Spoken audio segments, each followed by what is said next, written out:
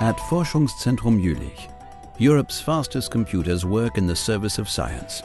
The enormous computing power of these modern supercomputers makes it possible for researchers to tackle complex issues in the field of material science, investigate processes inside cells, create compute-intensive climate models, and get to the bottom of the way the human brain works.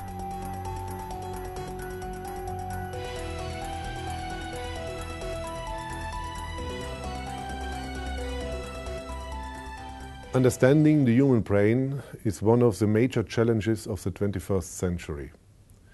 If we understand the brain, we may also understand what makes us human.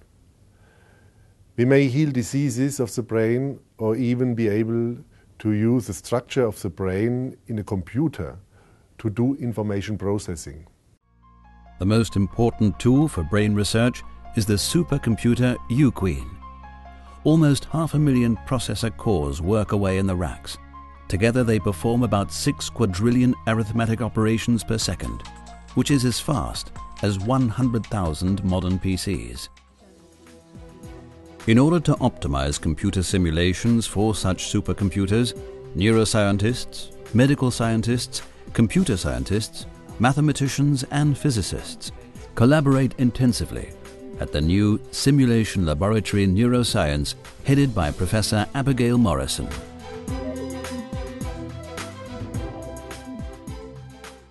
We are a unit that does partially research and partially support.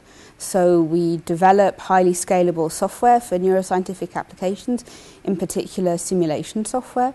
But we can also help neuroscientists with their uh, research ideas. If they have some software that they would like to bring onto the big machines, then we can help them with that. Basically, any anywhere that there's a uh, a connection between neuroscience and HPC, we're the right people to talk to. Even today, high performance computing, HPC, provides scientists with impressive insights into the human brain.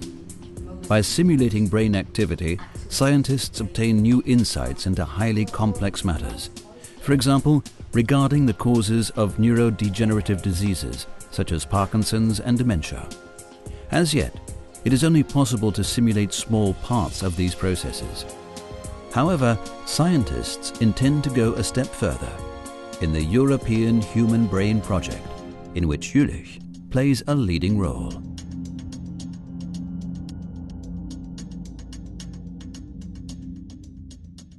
In the future, we aim to simulate the whole brain.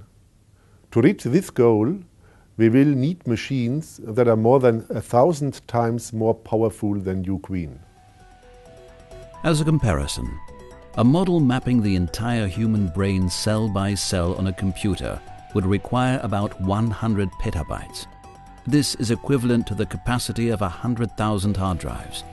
Even the fastest computers in the world with a capacity of 1 or 2 petabytes are unequal to this enormous volume of data. The experts at the Jülich Supercomputing Center have therefore already set their sights on the next generation of supercomputers, the exascale class. In our exascale labs that we are running together with renowned hardware and software companies like IBM Germany, Intel, Nvidia, as well as some German partners like Partec in Munich or EXTOLL in Mannheim.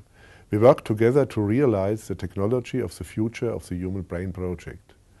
The idea is to get a memory density per compute core that is at least a factor of 10 to 20 higher than today's technology and to be able to work interactively with big supercomputers, like as you would work on a small laptop.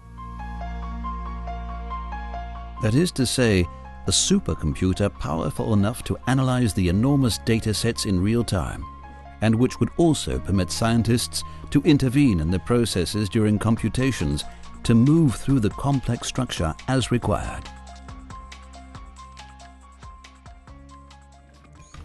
The Jülich supercomputers are being continuously enhanced and optimized for these and other tasks. And unlike humans, the machine never tires. Supercomputers thus work day and night, 365 days a year, in the service of science.